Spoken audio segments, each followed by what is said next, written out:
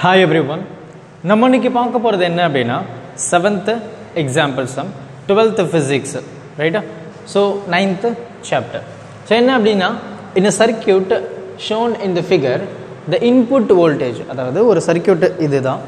இந்த சர்க்கியூட்டோட input voltage வந்து என்ன சொல்லியிருக்கேன் அப்படின்னா twenty volt so VBE which is equal to zero volt VCE which is equal to zero volt so பேஸுக்கும் எமிட்டருக்கும் உள்ள வோல்டேஜ் என்னவா என்னவா இருக்குது zero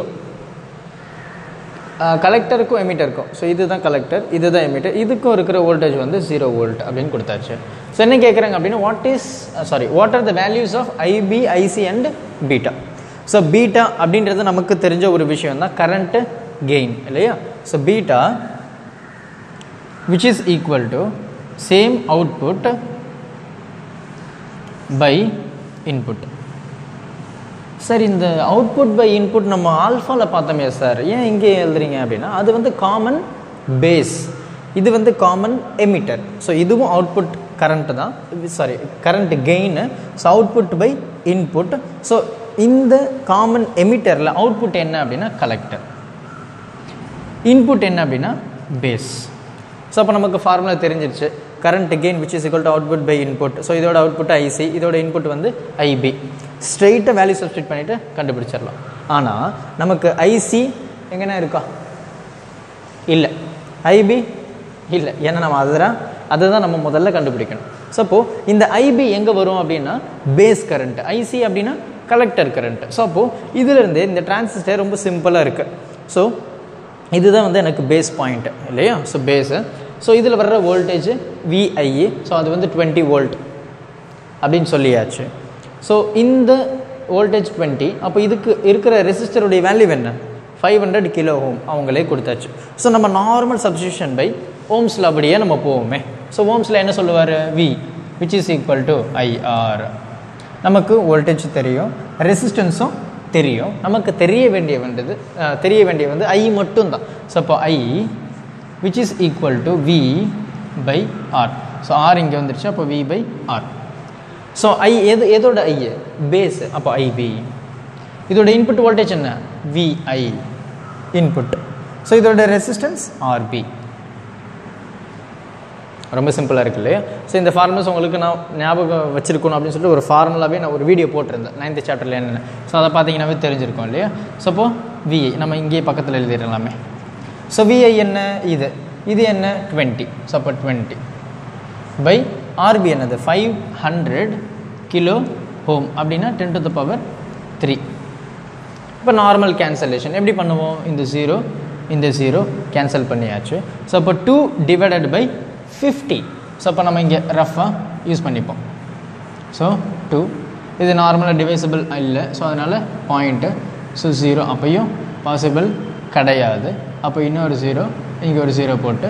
So fifty four sir two hundred அப்போ இதனுடைய வேல்யூ என்ன? Which is equal to point zero four into இந்த ten to the power three வந்து கீழே இருக்குது அப்போ அது மேலே போச்சு அப்படின்னு ten to the power minus three ampere அப்போ இதை நம்ம சிம்பிளாக சொல்லணும் அப்படின்னு நம்ம எப்படி சொல்லலாம்? Point zero four milli ampere அப்படின்னு நம்ம சொல்லலாம். ஸோ நம்ம இப்படி சொன்னோம் அப்படின்னா நமக்கு கேல்குலேஷன் பண்ணுறதுக்கு வந்து கொஞ்சம் டிஃபிகல்ட்டாக இருக்கும். ஸோ அப்போது இது இன்னும் சிம்பிளஸ்ட் வேல மாற்றணும் அப்படின்னா இந்த மில்லி ஆம்பேர் நான் மைக்ரோ ஆம்பேராக மாற்றலாம் அதாவது ten to the power minus six இந்த மில்லி என்ன ten to the power minus three அப்போ எனக்கு இன்னொரு ten to the power minus three எடுத்துகிட்டு வந்தேன் அப்படின்னா எனக்கு மைக்ரோ ஆம்பியராக மாறிடும். அப்போ இந்த இடத்துல நான் என்ன பண்ணுவேன்? டிவைடட் பை தௌசண்ட் அப்போ ten to the power three அப்போ இது ஒரு டெசிமல்னால் இந்த பாயிண்ட் இங்கே வரும். இன்னொரு இது எடுக்கும்போது பாயிண்ட் இங்கே வரும். இன்னொன்று எடுக்கும்போது ஃபோர் ஜீரோவாக மாறிடும். அப்போது இது மைக்ரோ ஆம்பரை கன்வெர்ட் பண்ணுறதுக்கு நான் இன்னும் ten to the power minus த்ரீயை ஆட் பண்ணுவேன்.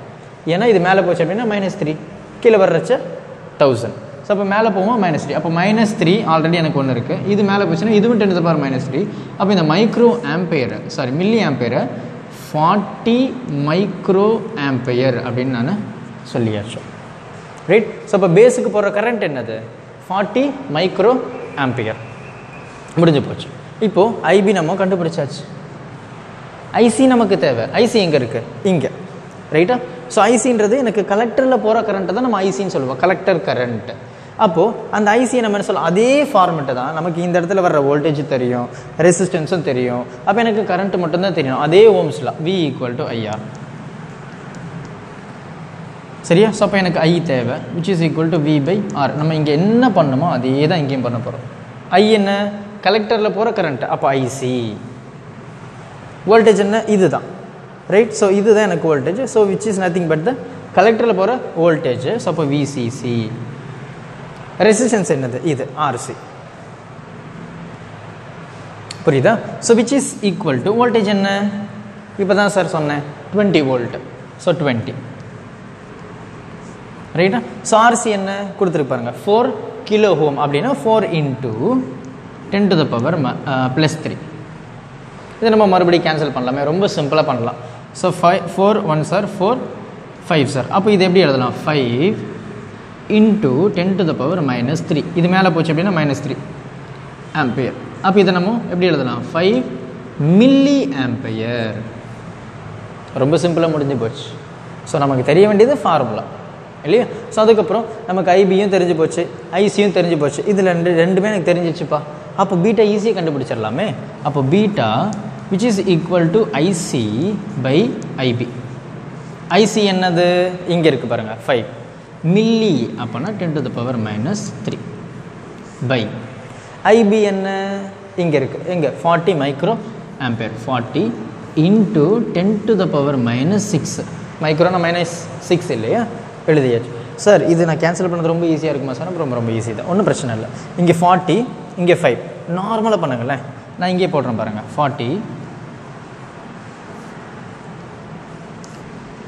ஃபைவ் பாசிபிளா கண்டிப்பாக கிடையாது. அப்போ பாயிண்ட் வைக்கிறேன். இங்கே ஒரு ஜீரோ இப்போ பாசிபிள் எவ்வளோ? ஃபார்ட்டி டூ சார் எவ்வளோ? எயிட்டி அப்போ ஃபார்ட்டி ஒன் சார் ஃபார்ட்டி மேலன்ஸ் டென் இது போகுமா? கண்டிப்பாக போகாது. அதனால் இன்னொரு ஜீரோ ஸோ அப்போ ஃபோர் டூஸ் ஆர் எயிட்டி ஏன்னா த்ரீ டைம்ஸ் போட்டோன்னா ஒன் டுவெண்ட்டி ஆகிடும் எனக்கு கம்மியாக தான் இருக்கணும் இல்லையா? எயிட்டி ஸோ மிச்சம் இருக்கிறது எனக்கு டுவெண்ட்டி அப்போது இன்னொரு ஜீரோ நான் ஆட் பண்ணேன் அப்படின்னா forty fives are two hundred so அப்போ எனக்கு ஜீரோவாக மாறிடும். ஒன் டுவெண்ட்டி ஃபைவ் அப்போ இது எப்படி எழுதலாம்? Point one twenty five into ten to the power minus three இது. இந்த மைனஸ் சிக்ஸ் மேலே போச்சு அப்படின்னா plus six into ten to the power plus six அப்போ இந்த இடத்துல பார்த்தீங்க அப்படின்னா எனக்கு மைனஸ் த்ரீ இங்கே ப்ளஸ் சிக்ஸ் அப்போ எனக்கு ரெண்டு சாரி மூணு ரெடியூஸ் ஆகிடும் அப்போ which is equal to point one two five into ten to the power three ஆமாவா? அப்போ எனக்கு டெசிமலில் இருக்குது அப்போ இன்ட்டு தௌசண்ட் அதாவது ten to the power three அப்படின்னாவே தௌசண்ட் தான். அப்போ நான் எடுக்கும்போது இங்கே ஒன்று இங்கே ஒன்று இங்கே ஒன்று அப்போது point one two five into thousand என்ன? ஒன் டூ ஃபைவ் முடிஞ்சு போச்சு. ஸோ இதுதான் வந்து current gain for common emitter configuration so பொறுமையாக பாருங்கள் ரொம்ப கிளியராக இருக்கும். டவுட்ஸ் எதனா இருந்தது அப்படின்னா கமெண்ட் பண்ணுங்கள் thank you help others with a smile